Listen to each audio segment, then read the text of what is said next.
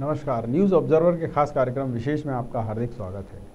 मध्य प्रदेश में 28 विधानसभा सीटों पर हो रहे उपचुनाव को लेकर कांग्रेस और बीजेपी अपनी अपनी तैयारियों में हैं और सबसे बड़ी बात यह है कि इस समय दोनों दल के नेता एक दूसरे पर खूब आरोप लगा रहे हैं और वादे भी कर रहे हैं। जनता इस बात को लेकर भी हैरान है कि जो कांग्रेस पंद्रह महीने में कुछ नहीं कर पाई, वो अब ये कह रही है कि दीपावली बाद उनके सारे वादे पूरे हो जाएँगे। परंतु ये कैसे होंगे, इसका कोई ब्लूप्रिंट अभी भी पेश नहीं किया गया है। हालाँकि कांग्रेस के लिए एक सुकून वाली बात हो सकती है कि उसने 28 विधानसभा क्षेत्रों में 28 घोषणा पत्र अलग अलग जारी किए हैं। यानी हर विधानसभा क्षेत्र का अलग घोषणा पत्र इस मुद्दे पर बीजेपी खिल्ली उड़ा रही है कांग्रेस की और ये कह रही है कि आने वाले समय में हो सकता है कि कांग्रेस वार्ड वार और फिर मोहल्लेवार और फिर मकान के हिसाब से घोषणा पत्र जारी कर दे। परंतु यहाँ ये भी एक महत्वपूर्ण विषय है कि अब जबकि चुनाव धीरे धीरे शबाब पर आ रहा है, तब बीजेपी ये भी सोच रही है कि कहीं उसके यहाँ फूट तो नहीं पड़ने वाली, क्योंकि देवास के क्षेत्र से जिस तरीके से विरोध की चिंगारी उठी है, वो बीजेपी को थोड़ा सा चिंतित करती है। आज इन्हीं विषयों पर चर्चा करेंगे चर्चा की शुरुआत करें उससे पहले मेहमानों का परिचय। मैं बात करूँ अगर कांग्रेस की तो कांग्रेस से वरिष्ठ नेता हैं आनंद तारण जी। कांग्रेस का पक्ष रखेंगे। वरिष्ठ पत्रकार के रूप में भूपेंद्र निगम जी रहेंगे। आप दोनों का बहुत बहुत स्वागत। और सबसे पहला सवाल तारण जी आपसे कि इस चुनाव में आपकी पार्टी अब ये कह रही है कि पंद्रह महीने में हम कुछ नहीं कर पाए थे। अब बचे खुचे जो तीन साल हैं उनमें बहुत सारा काम कर देंगे। जैसे दो लाख रुपए तक की कर्ज माफ़ी चार हज़ार का बेरोज़गारी भत्ता और सबको स्कूटी लैपटॉप और जितनी भी घोषणाएँ हैं कर्मचारियों को टी ए डी ए जो जो देना होता है वो सब देंगे। कैसे देंगे? देखिए प्रकाश हम्म। ये कहना तो बेमानी पंद्रह महीने में कांग्रेस ने कांग्रेस ने पंद्रह पंद्रह महीने में किसानों का कर्जा माफ़ की जो घोषणा की उसको आमनी जमा कराया। ठीक। ज़मीन पे लेके आए और सत्ताईस लाख किसानों का कर्जा माफ़ ये विधानसभा में भारतीय जनता पार्टी की सरकार ठीक बात। पटल पे रखा है। नंबर दूसरा ये काम की बात है काम पंद्रह महीने में इतना हुआ कि के नहीं नहीं अरे अब वो तो हो गया आप रिपीट मत करिए मैं तो कई बार सुन चुका हूँ दर्शक भी सुन चुके हैं अब सिर्फ़ इतना बताइए कि ये जो आप घोषणाएँ की हैं आपने 28 घोषणा पत्र जारी कर दिए 28 विधानसभा क्षेत्र के लिए तो ये पैसा कैसे आएगा कहाँ से लाएँगे आप कहाँ से आएगा पैसा। ये सरकार है सरकार चल रही है आज से चल रही है आज़ादी से आज तक चल रही है हम्म। व्यवस्थाएँ सब होती हैं और सब व्यवस्थाएँ होंगी अभी जिस तरह से किसानों को कर्ज माफ़ी की हमने घोषणा की किया तो पैसा तो आया खजाना तो खाली था हम्म। पैसे की व्यवस्था की पैसा आया पैसा और आएगा पैसे की कोई कमी नहीं आई लेकिन जो आप अट्ठाईस घोषणा पत्र की बात चलिए अब मुझे ये जवाब दीजिए कि आप ही के मुख्यमंत्री ने ये कहा था कमलनाथ जी ने कि खजाना खाली है अभी हम कर्जा माफ़ नहीं कर सकते दस दिन में तो पाँच हज़ार करोड़ का ही इंतज़ाम हो पाया। कुल मिला के छः हज़ार करोड़ तक के कर्जे आपने माफ़ किए हैं जो विधानसभा के पटल पर हैं। और सुन लीजिए पचपन तो अरे आप सुनिए पचपन पचपन हज़ार करोड़ रुपया आपको चाहिए पूरा कर्ज माफ़ी के लिए। आपने अभी तक दिया है पाँच हज़ार करोड़ जो बजट में प्रावधान रखा है। अब मैं ये पूछना चाहता हूँ आपसे कि अगर आप पंद्रह महीने में पाँच हज़ार करोड़ नहीं कर पाए, तीन साल में ये पचास हज़ार करोड़ रुपए कहाँ से लाएँगे? देखिए प्रकाश जी, सत्ताईस लाख किसानों का कर्जा माफ़ हुआ मतलब लगभग आधे हो गए। अब वो कैसे हुए, क्या हुआ, ये छोड़ दीजिए बैंकों का जो ब्याज था, ब्याज पे ब्याज था, उससे सबसे चर्चा हुई उसमें कम करवाया। सबसे चर्चा वो करवाए। इसी तरीके से जो पैसे हैं, दो लाख तक के जो कर्जे की बात है, उसमें बहुत सारे तो पैसे ऐसे होंगे जो टैक्स पर टैक्स लगे उसके ऊपर कोई पेनाल्टी लगी हुई, कुछ लगाओ वो सब पर चर्चा हुई है और चर्चा हो रही थी, सरकार को गिरा दिया गया। और निश्चित रूप से कांग्रेस की सरकार जो वायदा किया वो पूरा कर दिया। आपने देखा होगा, हमने, कांग्रेस की तो हम बात कर रहे हैं। आपने देखा होगा कि जो भारतीय जनता पार्टी ने पंद्रह साल में जो घोषणाएँ की, कितनी घोषणाएँ उन्होंने पूरी की। अभी छह महीने से मध्य प्रदेश में भारतीय जनता पार्टी की सरकार है। चारों तरफ़ अराजकता का माहौल है। हत्याएँ हो रही हैं आत्महत्या हो रही हैं, बलात्कार हो रहे हैं। किसान हत्याएँ कर रहे हैं, अपनी आत्महत्या कर रहे हैं। तो किस तरह का माहौल बना रखा है? भाई, कांग्रेस पे किस तरह का आरोप लगा रहे हैं? और किस आधार पे आरोप लगा रहे हैं? जो जिनने गद्दारी की वो करवाई जिन्होंने देश के लोकतंत्र का माहौल उड़ाया जिन्होंने लोकतंत्र के पीठ पे छुड़ावों का तो क्या ऐसे लोग हम्म। कांग्रेस से बात करेंगे? कांग्रेस ने तो निश्चित रूप से जो की बोला था ये सुनिए सुनिए आप आप और दर्शक भी ये जानना चाहते हैं आपसे बार बार आप बार बार कहते हैं ये गद्दार गद्दार इनको टिकट किसने दिए थे? ये थे किसमें बीजेपी से आए थे आपके यहाँ पर? देखिए प्रकाश जी हाँ हाँ। देश काल परिस्थितियों के हिसाब से सब व्यवस्था होती है। अच्छा। तो तो आप जनता को सुनिए। मेरा एक और सवाल सुन लीजिए। आप क्या इस उपचुनाव में गारंटी देंगे कि अभी जो बिक गए आपके बाईस अगली बार जीत गए तो फिर नहीं बिकेंगे? पता चला फिर बिक गए दो चार तो क्या कर लेंगे आप? प्रकाश जी हाँ। मध्य प्रदेश में ये अट्ठाईस जो चुनाव होंगे हम्म। ये देश की राजनीति में एक तूफ़ान लेके आएँगे। ये अट्ठाईस अगर कांग्रेस के जीतते हैं तो निश्चित रूप से जो व्यवस्था की गई थी या करने वाले जो लोग हैं वो हिंदुस्तान मैंने सवाल क्या मैंने सवाल मैंने सवाल सुन लीजिए। मैंने सवाल ये पूछा था आपसे कि आपके ही लोग थे आप ही ने के यहाँ से इस्तीफा दिया उन्होंने। जनता आपसे पूछना चाह रही है कि आप ऐसे लोगों को टिकट क्यों देते हैं? आप ऐसे लोगों को क्यों जितवा रहे हैं जो आपके प्रति निष्ठावान नहीं है? आज आप इतने बढ़ चढ़ कर वादे कर रहे हैं जो बीजेपी से आए हैं उनको आपने टिकट दे दिए छः लोगों को जिनकी वजह से कांग्रेस ही छोड़ छोड़ के भाग रहे हैं। सवाल ये है कि आप भी तो दूध के धोले नहीं हो ना? नहीं ऐसा नहीं है प्रकाश जी। हाँ। दूध के धोले कौन है कौन नहीं ये तो जनता बताएगी आने वाले तीन तारीख को सब रिज़ल्ट सामने आ जाएगा। लेकिन जिस तरह से जनता उत्तेजित है जनता के साथ चलिए। और खास तौर पर कांग्रेस उत्तेजित है। उनका जिस तरह विरोध हो रहा है ये भी आपने देखा। लेकिन जो भारतीय जनता पार्टी की हम बात करते हैं भारतीय जनता पार्टी। चलिए भूपेन्द्र निगम जी मेरे साथ हैं। छह महीने में क्या किया? भूपेन्द्र निगम जी क्या किया? चलिए। सत्ता के अलावा इनके पास क्या भूपेन्द्र निगम जी ठीक है आ गई बात आपकी। भूपेन्द्र निगम जी मैं आपसे जानना चाहूँगा कि ये जो चुनाव हो रहा है वो दो विषयों पर हो रहा है। एक तो घोषणाएँ फिर से शुरू हो गई। चाहे कांग्रेस हो या बीजेपी दोनों जम के घोषणाएँ तो ऐसी उगल रहे हैं कि मतलब समझ में नहीं आ रहा ऐसा लग रहा है जैसे पता नहीं क्या बन जाएगा मध्य प्रदेश ऐसी स्थिति है। दूसरी तरफ़ ये गद्दारों और खुददारों वाला खेल चल रहा है दोनों ही तरफ़ हैं गद्दार खुददार तो जो भी हैं। तो आपको क्या लगता है जनता इन दोनों विषयों पर क्या सोचती है? जनता दोनों विषयों पे जो सोच है जनता की मैं समझता हूँ हम्म। उसमें प्रदेश के विकास का एक मुद्दा जनता के सामने है कि जिसने जो भी घोषणाएँ की हैं चाहे भाजपा हो चाहे कांग्रेस हो तो उन घोषणाओं का हस्र क्या हुआ है अभी तक? चाहे पंद्रह साल की बीजेपी की सरकार रही हो या पंद्रह महीने की कांग्रेस की सरकार रही हो घोषणाएँ पूर्ण करने में किसी ने कोई विशेष रुचि नहीं दिखाई है। ये ज़रूर है कि जिसका जितना लंबा कार्यकाल हुआ उसको उतना अधिक समय मिला तो उसने कुछ थोड़ा बहुत जो भी किया है जनता के सामने है हम्म। लेकिन जिस तरीके से जैसे कांग्रेस की बात करें तो जो कर्ज माफ़ी वाला मुद्दा था हम्म। कांग्रेस के कर्ज माफ़ी के मुद्दे पे ये कहा गया था राहुल गांधी जी आए थे तो हम्म। उन्होंने भी कहा था कि दस दिन में हम मुख्यमंत्री बदल देंगे अगर नहीं हुआ तो तो अब ये सारी चीज़ें जनता के सामने है कि कथनी और करनी में कितना अंतर होता है वो जनता को दिख रहा है और जनता इसी आधार पर फैसला करेगी कि कौन कितने पानी में है, किसको, उसको चुनना चाहिए और किसको नहीं चुनना चाहिए, किसकी छवि कैसी और कौन कार्य कर सकता है। तो ये तो आने वाला समय बताएगा। हम्म। नहीं, पर कांग्रेस जिस तरह से बहुत ही ज़्यादा अरोगेंट हो रही है कि साहब, हमारे साथ धोखा हुआ, हमारे साथ धोखा हुआ।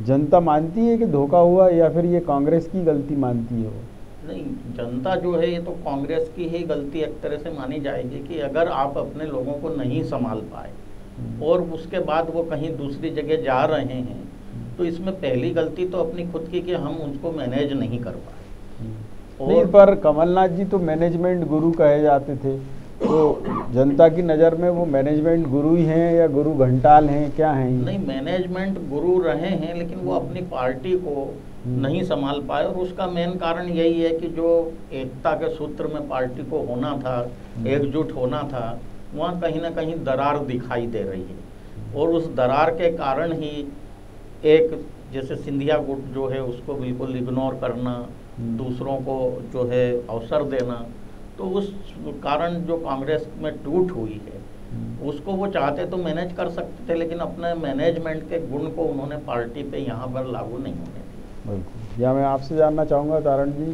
कि मैनेजमेंट गुरु जो कहे जाते थे आपके वो गुरु घंटाल निकले कांग्रेस के लिए फ़िलहाल तो। अब आपको क्या लगता है वो मैनेजमेंट कर पाएँगे या फिर अभी भी ऐसी स्थिति रहने वाली है? चुनाव में ही अभी तो फ़िलहाल। देखिए प्रकाश जी हम्म, ये जो अट्ठाईस चुनाव है ये निश्चित रूप से न केवल मध्य प्रदेश में पूरे हिंदुस्तान में बार बार बोलता हूँ कि पूरे हिंदुस्तान के मुस्तकबिल का इतिहास रखेंगे क्योंकि जिन लोगों ने गद्दारी की है या जिन लोगों ने पार्टी छोड़कर गए हैं निश्चित रूप से उनको अगर जनता ने नकार दिया तो एक सबक मिलेगा और आने वाले कई वर्षों तक इस तरह की घटनाओं की पुनरावृत्ति नहीं हुई देश के अच्छा अगर ऐसा नहीं हुआ तो? क्यों नहीं होगा? सुन तो लीजिए मैं मैं मैं आपसे देखिए। आप देखिए आप देखिए आप सोशल मीडिया में देख रहे हैं हम्म। आप इलेक्ट्रॉनिक मीडिया में देख रहे हैं कि जो भी हम्म। जिन्होंने कांग्रेस के साथ गद्दारी की अपने अपने क्षेत्र में जा रहे हैं उनका किस तरह से विरोध हुआ? है न केवल कांग्रेस जन तो करेंगे ही विरोध लेकिन जनता भी उन्हें उनका विरोध कर रही नहीं, मेरा- भारतीय जनता पार्टी के कार्यकर्ता मेरा सवाल- मेरा सवाल गुम- मेरा सवाल गुम मत कीजिए। सुन लीजिए। मैं मैं आपसे ये कह रहा हूँ कि इन केस जब आपके पास नतीजे आएँगे नवंबर में और ये आपको पता चले कि आपके लोग नहीं जीते 28 में से आप आठ सीटें भी हार गए या दस सीटें ही हार गए तो फिर क्या करेंगे? क्या करेंगे मतलब? फिर कहेंगे, नहीं, सुन लीजिए, फिर इस बात पे आप अडिग रहेंगे कि ये गद्दार थे, क्योंकि जनता तब मैंडेट दे देगी आपको. पार्टी के साथ गद्दारी की, वो तो गद्दार कहलाएँगे, उसमें तो कोई कहने की बात ही नहीं लेकिन लेकिन प्रकाश जी, आज पूरा माहौल बदला। आप एक बात बताइए, भारतीय जनता का पार्टी को किस आधार पे जनता वोट देगी? क्या इस आधार पे किसान आत्महत्या कर रहे हैं? क्या इस आधार पे पूरे देश, प्रदेश में अव्यवस्था का आलम है? क्या इस आधार प्र- प्र- प्रदेश का हाल हालचाल पूरा खराब है कोई लाइन आर्डर नाम की कोई तो सुनिए तो सही, पार्टी- सुनिए भाई साहब, आगे- हाँ, ये तो issue हो गए। के दाम का आज दुगने तिगने अरे हो हैं। ठीक है, चाय- तेल के दाम बढ़ रहे हैं दालों के दाम बढ़ रहे हैं तो किस आधार पे चलिए, अब आगे का सवाल तो सुन लीजिए। हिंदुत्व वाली पार्टी है इसलिए वोट देंगे उन्हें अरे सुन तो लीजिए। हिंदुओं की रक्षक है इसलिए देंगे आप मुस्लिमों के रक्षक हैं? सांप्रदायिकता की बात करते इसलिए आप मुस्लिमों के रक्षक हैं क्या हम सबके रक्षक हैं अच्छा, तो अब सवाल सुनिए। सबकी बात करती अब सवाल सुनिए आप कह रहे हैं कि जिन्होंने कांग्रेस छोड़ी वो गद्दार कांग्रेस छोड़ने वाला गद्दार होता है क्या देखिए जिस हालात में इनने छोड़ा है हम्म। जिस हालात में इनने सरकार को गिराया है तो निश्चित रूप से उन्होंने पार्टी के साथ गद्दारी की अच्छा, तो अब सुनिए। सम्मान दिया देखिए मेरे मेरा सवाल सुन लीजिए।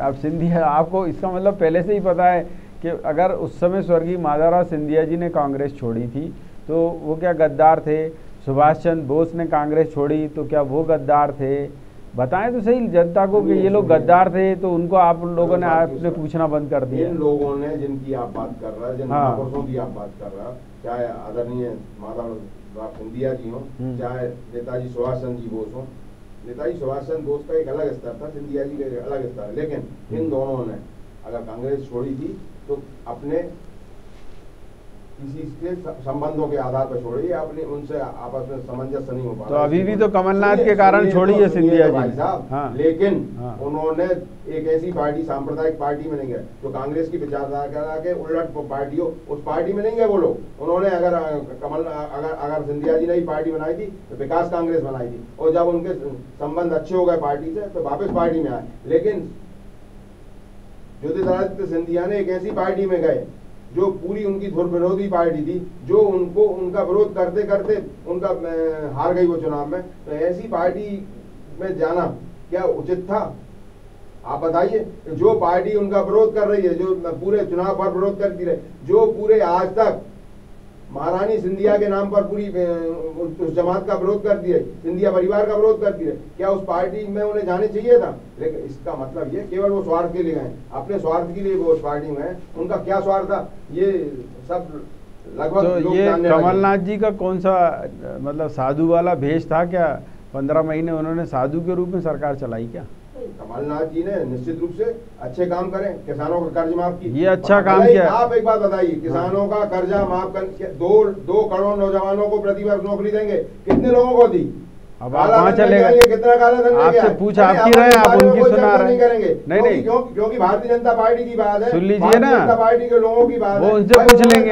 कहाँ पूछे हैं अपन अरे, तो कांग्रेस से पूछेंगे आपसे तो सवाल पूछेंगे, आप कांग्रेस के हो, बीजेपी के? पाँच साल का वायदा किया था उन्होंने ये बोला था दस दिन में कर्जा माफ़ तो उन्होंने डेढ़ घंटे में कर्जे माफ़ की घोषणा की अच्छा। ये कोई बनिए की दुकान नहीं है तराजू में तोला इधर दिया और बनिए नाराज़ हो जाएँगे, ऐसे मत व्यवस्था बोलिए आप। ये व्यवस्थापक सरकारी व्यवस्था की होती है हाँ। कागज़ी व्यवस्था होती है बैंकों से किधर कहाँ कहाँ क्या दिक्कतें हैं कौन कौन सी घपलेबाजी है इसमें आपने देखा होगा कि सहकारी बैंकों में कितने घपलेबाजी हुई कि आदमी ने तो एक को भी जेल भेजा आपने। में अरे भाई साहब, एक को भी जेल भेजा आपने। ये भारतीय भारत बिल्कुल इन सब चीज़ों पे चल रही है ना चर्चा हो रही है ये ही तो सरकार को जो गिराने का कारण है आदरणीय प्रकाश जी हाँ। जो कांग्रेस की सरकार गिराई क्योंकि पूरी की पूरी भारतीय जनता पार्टी घबरा गई थी। क्यों? ऊपर से ऊपर से आदेश आया इनका हाईकमान का कि कांग्रेस की सरकार को गिराना ज़रूरी मध्य प्रदेश की। तो निश्चित रूप से पूरे भारतीय जनता पार्टी चलिए सुनिए अब मैं आपसे पूछूँ अरे अरे आप सुन लीजिए मैं आपसे पूछूँ उन्नीस में आपने पटवा जी की सरकार गिरा दी थी सिर्फ़ दो घटनाओं को लेकर। तो वो अच्छा किया था क्या उस समय? जब पूरे प्रदेश में अराजकता का माहौल हो गया था खून खराबा हो रहा था तो अभी नहीं हो रहा था। नहीं अभी कौन से हो रहे थे भाई साहब बताइए हाँ, ना अभी तो व्यवस्था सुधर गई थी प्रकाश मैं आपसे- मैं हैं? आपसे ये- आप कैसी बात कर रहे हैं प्रकाश जी अभी तो ये हालात थे हाँ। कि हत्याएँ बंद हो गई थी आत्महत्याएँ बंद हो गई थी। लाइन ऑर्डर सुधर गई थी कई बार आप किसानों की आत्महत्या पे हो रही आप ही ने बयान दिए। माफिया गिरी थी उन पर कार्रवाई हो रही थी पूरे मध्य प्रदेश की जनता कांग्रेस सरकार की कमलनाथ जी की सरकार की तारीफ़ कर रही थी और आगे भी कमलनाथ जी, सुनिए तो सही। आज अगर कांग्रेस की सरकार जीतेगी तो निश्चित रूप से कांग्रेस की सरकार को काम के आधार पर जनता जिताएगी काम के आधार पर जिताएगी ना? काम क्यों तब? क्यों नहीं किए भाई? आप कैसी बातें कर रहे जब विधानसभा में भारतीय हाँ। जनता पार्टी की सरकार खुद बोल रही है कि सत्ताईस लाख छब्बीस छब्बीस लाख पंचानवे हज़ार किसानों का कर्जा माफ़ किया। तो निश्चित रूप से कर्जा माफ़ किया। जब वो खुद बोल रहे हैं ना उन्होंने अपनी पटेल पे बोला है विधानसभा में कोई झूठ आप जनता को क्या मूर्ख समझते हैं क्या? आप आप, आप क्या जनता को मूर्ख समझते हैं क्या? जनता को हम क्यों मूर्ख आप ये क्यों नहीं बोल रहे कि साहब पचपन हज़ार करोड़ करना था हम पाँच हज़ार करोड़ का ही कर पाए हैं। ये प्रकाश जी जो हमने बोला है वो अक्षरांश करेंगे। हमने अगर बोला हाँ। आप एक बात बताइए क्या जनता ने एक भी आंदोलन किया कांग्रेस के विरोध में? कि हमारा कर्जा माफ़ी नहीं हुआ? कैसी बातें करते हैं आपको पता है क्या? भारतीय जनता पार्टी वाले। जिस तरह की बातें फैलाते हैं निश्चित रूप से जनता में आज आज उनकी त्राई माम हो रही आज क्यों किसान उद्दलित है? आज क्यों किसान ने भारतीय जनता पार्टी की सरकार के विरोध में आंदोलन करा? न केवल मध्य प्रदेश में पूरे देश में हो रहा है। तो इसके पीछे कारण क्या? चलिए, आप सुन लीजिए आप। अब। सुनिए कांग्रेस ने कर्जा माफ़ की घोषणा की थी। तो कांग्रेस अगर कांग्रेस ऐसा करो इस पे इस पे तो पाँच मिनट और बोलो। एक एक आंदोलन इस पे आप पाँच तो- मिनट और बोलो कर्जा माफ़ी पे जनता तंग आ चुकी है। माफ़ कर दिया माफ़ कर दिया। सुन। तो लिया लोगों ने। एक भी आंदोलन हुआ क्या? आपको की है तरफ़ कि नहीं हुआ? एक भी आंदोलन नहीं हुआ। ब्लॉक स्तर से किसानों ने आंदोलन किए अब आपको पता ही नहीं। प्रदेश है में कर्जा माफ़ी के नाम पर कुछ नहीं हुआ लेकिन आज पूरे देश में जो कांग्रेस जो काला कानून है तीन कानून जो भारतीय जनता पार्टी ने बनाए और जिस तरह से एमएमएस के रेट की चलो अब- उन्होंने हमेशा बोला अरे कि आपने नहीं होता, नहीं होता है। क्यों नहीं डाली। एमएमएस तो उसका बनता है सोशल मीडिया में आप फालतू की बातें मत करवाओ क्या मतलब सोशल मीडिया में क्या बनता है? एमएमएस क्यों बनवा रहे हो तो लोगों का? नहीं, क्यों? एमएसपी बोलिए आप उसको। मैंने ठीक है मैं चलिए, हो मैं- मैं आपसे- मैं आपसे सवाल पूछ रहा हूँ। क्यों समर्थन मूल्य का ज़िक्र नहीं है तीनों घोषणा चलिए ठीक है। अभी आपके मतलब ये अभी आप राज्य पे आ जाइए भाई साहब। मैं इतना पूछना चाह रहा हूँ। कि आपसे जनता ये पूछना चाह रही है कि भाई साहब, आप पंद्रह महीने में तो नहीं कर पाए। अब आने वाले जो तीन साल रहेंगे, उनमें कैसे करेंगे? तब जबकि केंद्र में बीजेपी की सरकार है, वो आपको पैसा देगी नहीं आपकी आदत अनुसार, जैसा आप कहते आए ठीक है? कर्जा आपको मिलेगा नहीं पचास हज़ार करोड़ का या एक लाख करोड़ का। तो जनता ये पहले से ही मान ले कि खजाना खाली है, अब अगल, अगला टर्म मिला तो फिर देख लेंगे। ऐसा प्रकाश जी निवेश के मामले में कमलनाथ जी ने बहुत प्रयास किए हैं और बहुत से जैकलीन की कमर पे हाथ रख के निवेश का प्रयास होते हैं क्या? लोग निवेश के लिए तैयार है मध्य प्रदेश में। लेकिन जिस तरह से भारतीय जनता पार्टी ने मध्य प्रदेश की सरकार को गिराया निश्चित रूप से भारतीय जनता पार्टी ने इस प्रदेश की जनता के साथ अन्याय किया है। चलिए बताइए साहब।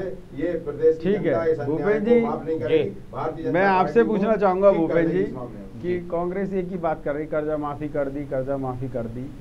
जनता पूछती है उनसे तो ये नहीं कहते कि दो लाख की कर दी। तो कहते हैं हाँ कर दी अब कितने की भी कर दी। मतलब नरोबा कुंजरोबा टाइप इनकी स्थिति है कि महाभारत के युद्ध में पूछा गया जब युधिष्ठिर से कि अश्वस्थामा मारा गया कि नहीं मारा गया तो उन्होंने कहा नरोबा कुंजरोबा या तो हाथी था वो या मनुष्य था मुझे नहीं मालूम मारा गया है। तो वैसी स्थिति कांग्रेस की हो रही है कि झूठ बोल भी रहे हैं और मुलम्मा चढ़ा रहे हैं उस पर कि साहब बहुत ज़्यादा ईमानदारी से बोल रहे हैं। क्या जनता इनकी बात पर एतबार करेगी?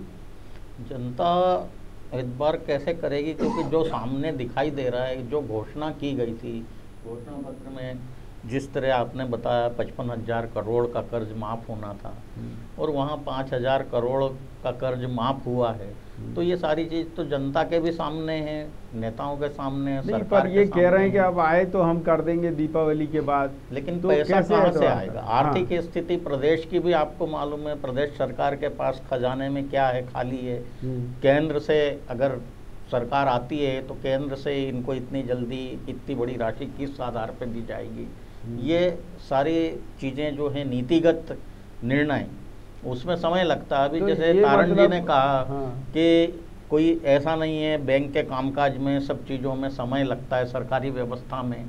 तो वो स्थिति है कि अभी जब अगर मान लो आ भी जाती है तो तीन साल के अल्प अवधि मान लें अपन उसको। बिल्कुल सही। तीन क्या वो तो दो ही माने एक साल पहले तो फिर चुनाव का माहौल आ जाएगा। हाँ। तो उतने कम समय में इतनी बड़ी राशि की व्यवस्था करना और इसके अलावा भी सरकार के सामने बहुत सारी चीज़ें हैं अब डेवलपमेंट जैसे चार हज़ार बेरोजगारी भत्ता देना है जी।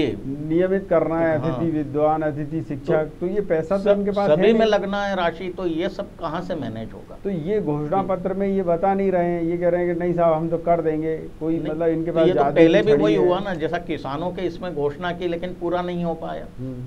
भाई उसकी भी कोई नीति तो बनी ये नहीं। कह रहे हैं ना हमने तो माफ़ कर दिया बस जितना कर दिया कर दिया आप मान लो कर दिया। तो घोषणा पत्र का पालन नहीं हुआ ना और फिर जब ये मालूम है कि हमें इतना समय लगता है शासकीय नीतिगत कार्यों में तो ये दस दिन की जो इनकी घोषणा थी माननीय राहुल गांधी जी की कि हम दस दिन में अगर नहीं हुआ तो ये कर देंगे। हम्म। तो दोनों तरफ़ आप कैसे इसको स्वीकार कर सकते हैं? एक तरफ़ कहते और- हैं कि लंबा समय लगता है इस सब व्यवस्था में दूसरे तरफ़ आपके नेता दस दिन में ही सब करना चाहते हैं। बिल्कुल। अब मैं ये पूछना चाह रहा हूँ कि अब ये चुनाव का परिणाम जो आने वाला है वो कमलनाथ जी के भविष्य के लिए क्या रहने वाला है? क्या वाकई उनका कद यहाँ बढ़ जाएगा या इस चुनाव के बाद उनका बोरिया बिस्तरी बन जाएगा? देखिए अब ये तो समय पे निर्णय होगा और कौन आता है कौन नहीं आता है ये इलेक्शन के बाद ही परिणाम बताएँगे लेकिन जिस तरह की संभावनाएँ दिख रही है, उसमें ऐसे कद बढ़ने वाला ही कोई चीज़ नज़र नहीं आती है। हम्म। या मैं आपसे पूछना चाहूँगा, तारण जी, कि आपने बहुत सारी बातें कही कि आप जैसी सरकार में आए तो फिर से वो काम कर देंगे। लोग, जनता ये पूछना चाहती है कि अगर आप अपने घोषणा पत्र को लेकर चलें तो आपको कम से कम डेढ़ लाख करोड़ रुपया चाहिए। चाहे वो कर्मचारी भर्ती का मामला हो या उनकी नियमितीकरण का हो या फिर चार रुपये चार हज़ार रुपये प्रति माह बेरोजगारी भत्ता देने की बात हो। और ये किसानों का कर्ज तो है ही है आपके माथे पे। तो ये डेढ़ लाख करोड़ रुपए का इंतज़ाम कहाँ से होगा तब जबकि मध्य प्रदेश सरकार वैसे ही सवा दो लाख करोड़ के घाटे में चल रही है और उसकी लिमिट जो है कर्जे की वो ऑलमोस्ट ख़त्म हो चुकी है। दो पाँच हज़ार करोड़ से ज़्यादा और नहीं मिलेगा। देखिए प्रकाश हम्म, अगर हमारी हम्म, मन स्थिति काम करने की है हम्म, अगर हमारी मानसिकता है कि हमें ये काम करना है निश्चित रूप से होगा। जब हमने पहले भी बोला था कि खजाना है, इसके बाद भी हमने किया। हमने सत्ताईस लाख किसानों को कर्ज माफ़ किया पचपन लाख का नहीं किया नहीं ना। आप देखो आप आप आप ये आधी अधूरी बात मत करिए। अधूरी क्या है? एक्चुअल में क्या है हाँ। कि हम लोग तो आँख बंद करके बैठे हैं सब। क्योंकि हमें ये तो दिखता ही नहीं है कि दो करोड़ नौजवानों को हम प्रति वर्ष नौकरी देंगे कितनों को दी? भाई वो तो उनने परिणाम भुगत लिया। अरे भाई साहब उनने परिणाम भुगत लिया अठारह में उनकी सरकार चली गई। तो हम कह रहे हैं ना कि क्या परिणाम भुगता? क्यों? अठारह में आप ही की सरकार बनी ना उनकी थोड़ी बनी। फिर उनकी सरकार बनी ना। अरे अभी आ- आज क्या मैं आपकी क्या- बात कर रहा हूँ प्रदेश की। बातों को जान चुकी है हाँ। निश्चित रूप से जो कमलनाथ जी ने काम किया कांग्रेस की सरकार ने काम किया जो पंद्रह महीने में काम करके दिखाया और आज जनता पूरी उत्तेजित है कि कमलनाथ कमलनाथ जी दिख न जाए कहीं। होना चाहिए अच्छा और निश्चित रूप से जब कमलनाथ जी की सरकार आएगी तो मध्य प्रदेश में स्वर्णिम युग की शुरुआत होगी और जो उन्होंने अच्छा एक बात और बता दीजिए चलिए अब आप विषय 15 साल के मैंने सवाल पूछा उसका तो जवाब नहीं आ रहा शांति का आलम अरे, अरे, शांति वांति छोड़िए आप। मामला हो अरे, मेरे सवाल का जवाब दे दीजिए, तारण जी। तारण जी, सवाल का जवाब दे दीजिएगा। बिजली के यूनिट पे सौ रुपए का बिल आने लगा था मैं ये कह रहा हूँ आपसे कि आप इसमें ये बता दें सुन लीजिए मेरे से ये बता दीजिए कि मैंने ये पूछा कि ये आप लाख डेढ़ लाख करोड़ रुपए कहाँ से मैनेज करेंगे? बस इतना बता दें कि सरकारी बिल्डिंगें बेच देंगे या मतलब आपके नेताओं के यहाँ से उधार ले लेंगे। क्या करेंगे क्या? जनता को ये भी तो थोड़ा पता चल जाए। देखिए ये सब सरकारी व्यवस्था है और सरकारी व्यवस्था है जिस तरह से का, कांग्रेस नहीं, मैंने आपको- देखिए, तो मैंने आपको नियमानुसार बता दिया, केंद्र देगा नहीं आपको। सुनो तो आप मेरी बात। हाँ। कांग्रेस ने आज़ादी से लेकर आज तक देश के इतिहास में जो विकास दिख रहा है वो कांग्रेस की ही देन है। अरे दिख रहा है तो भारतीय जनता पार्टी के नेताओं ने तो जो विकास था उसको बेचने का काम किया है। कांग्रेस ने हमेशा बेचने का काम चलिए अब मुझे ये बता दीजिए भाई साहब मेरे मेरे सवाल का जवाब देंगे? कहाँ से होगी। जनता का पैसा जनता का पैसा जनता के द्वारा ही आएगा तो और जनता का ही विकास टैक्स लगाएँगे मतलब? मैंने क्या जनता पर। करेंगे। निवेश लेके आएँगे विदेश से आएगा पैसा। वाह। आएँगे विश्वास करेंगे मध्य प्रदेश के ऊपर कमलनाथ जी के ऊपर। कमलनाथ जी निश्चित रूप से इस मामले में बहुत एक्सपर्ट आदमी है। तो लेके आएँगे बाहर से निवेश लेके आएँगे ठीक काम बात। करेंगे। बताइए निगम साहब निवेश के ही मार्फत इतना पैसा जुड़ जाएगा? अगर डेढ़ लाख करोड़ इनको चाहिए तो ये इतने कम समय में तिवारी जी निवेश के लिए भी अगर प्रयास किए जाएँ तो सालों लग जाते हैं फैक्ट्री लगने में। हम्म, तो निवेश इतनी जल्दी तो आना नहीं है। हम्म, यानी जो अगर तीन साल की अवधि बची है उसको हम देखें हम्म। और उसके आधार पर बात करें तो ये बात बेमानी लगती है कि निवेश से सारा कार्य हो जाएगा। यानी अपने खुद के इंडिपेंडेंट जब कोई सोर्स नहीं है हम दूसरे पे कितना भरोसा कर सकते हैं? तो फिर उसके बाद हमें यहाँ का इंफ्रास्ट्रक्चर भी देखना है। हम्म। सारी चीज़ें डेवलपमेंट जुड़ा हुआ अगर निवेश कराएँगे तो पहले वहाँ संबंधितों को सारी सुविधाएँ मुहैया कराने के लिए भी तो आपको आर्थिक खर्च करना है। और कमलनाथ जी किसी से मिलते हैं नहीं है न जनता से मिले न आम जनप्रतिनिधियों से मिले तो फिर ऐसे में निवेश तेज़ी से आएगा या फिर यही ऐसे सलमान खान? अरे आपसे नहीं पूछ रहा सुनिए मैं उनसे पूछ रहा हूँ अभी रुकिए। तो सब काम होंगे। सकारात्मक दृष्टिकोण दिख रहा था कि कमलनाथ कमलनाथ जी जैसा एक गंभीर व्यक्ति जैकलिन की हाँ, कमर पे हाथ रख के फ़ोटो खिंचा रहा है इस प्रदेश में निश्चित रूप से नई राय लेके आएँगे नई नया नई किताब लिखेंगे नया अध्याय लिखेंगे और आने वाला वो निकल गया समय। कांग्रेस का वो निकल गया समय। प्रकाश जी निकल गया आपको छोड़ दीजिए लेकिन फिर दोबारा से आएगा और जनता इस, इस तरह के लोगों को फिर सबक देगी बताइए साहब सबक देगी क्या कमलनाथ जी को कमलनाथ जी को नहीं जो गद्दारी करे ठीक है, आप चलिए। कमलनाथ जी को तो पुरस्कार देगी भाई साहब चलिए बताइए साहब जी जहाँ तक है जनता जो है हम्म, वो उसके सामने सारी चीज़ें हैं और जनता अभी इस चुनाव में बिल्कुल दूध का दूध और पानी का पानी कर देगी हम्म, ये आपको जो आर्थिक स्थितियाँ दिखाई दे रही हैं प्रदेश की हम्म। विकास के मामले में या निवेश लाने की बात कर रहे हैं तारण साहब हम्म, या जिस तरह कर्ज माफ़ी का मुद्दा उठा है या कर्मचारियों का है। तो ये संभव नहीं लगता कि इतने कम समय में इतनी सारी व्यवस्थाएँ हो जाएँ। इस पे इस तरह के आश्वासन देना घोषणा करना ये सब बेमानी है। जो भी है जब तक आपके पास कोई विशेष आधार ना हो तो आप किसी भी चीज़ की घोषणा करेंगे तो वो जैसी अभी तक साबित बहुत बढ़िया बात आपने कही है और इसी वाक्य के साथ मैं कार्यक्रम को समाप्त करूँगा। है। मैं ये भी बताना चाहूँगा कि। दर्शकों को कि कांग्रेस पिछली बार की तरह घोषणाएँ तो कर रही है पर जनता भी ये देख रही है कि ये पैसा आएगा कहाँ से? और अगर पैसा लाने का इंतज़ाम या उसके स्रोत कांग्रेस इस उपचुनाव में नहीं बताती है तो जनता उस पर कैसे भरोसा कर लेगी? तब जबकि केंद्र में बीजेपी की सरकार है और सारी व्यवस्थाएँ, कांग्रेस एक विपक्ष के नाते करेगी तो क्या यहाँ उतना निवेश आ पाएगा? लोगों ने ये भी देखा है कि जब कमलनाथ जी ने निवेश के लिए 500 रुपए 500 करोड़ रुपए खर्च करके इंदौर में इन्वेस्टर समिट बुलाई तो उसमें मुकेश अंबानी जैसे लोग आए ही नहीं। और क्या केंद्र के लोग केंद्र की सरकार में रह, बीजेपी के रहते हुए प्रदेश में कांग्रेस को सपोर्ट कर पाएँगे, ये भी बहुत महत्वपूर्ण बात है। और जैसा निगम साहब ने कहा कि विकास के लिए दो चीज़ें बहुत ज़रूरी होती हैं, एक तो समन्वयता, कि केंद्र में जो सरकार हो, जिस दल की सरकार हो, वही प्रदेश में हो। तो दूसरी बात ये कि जो घोषणाएँ कर रहा है, उसकी ऑथेंटिसिटी क्या है, उसका जो पक्ष है, वो कितना मज़बूत है। क्योंकि इस बारे में ना कांग्रेस, ना बीजेपी कोई खुलासा नहीं कर रहे हैं। न्यूज़ ऑब्जर्वर के खास कार्यक्रम विशेष में इतना ही, लेकिन यहाँ विभाग खबरें निरंतर जारी रहेंगी। आप देखते रहिए न्यूज़ ऑब्जर्वर न्यूज़ ऑब्जर्वर यानी सब खबर।